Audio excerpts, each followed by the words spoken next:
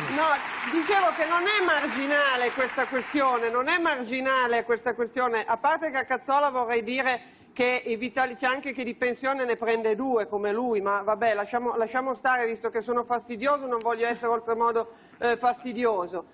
Non Ma si sente dico, Cazzola? Lei lo sa che i giornalisti applicano il Non è- contributivo Sì, lo dal so, primo lo so, gennaio se lei avesse 2017? letto il mio libro l'ho Eh.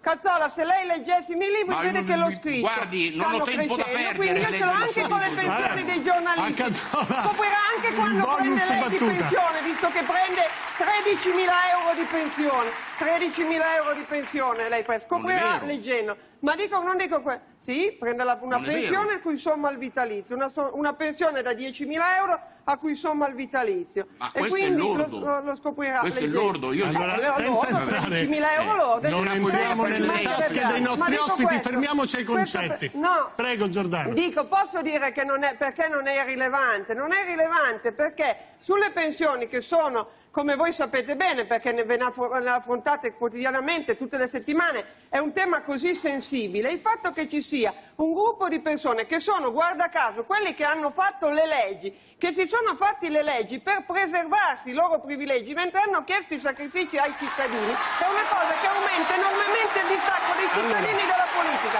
che è l'unica cosa che conta in questo momento.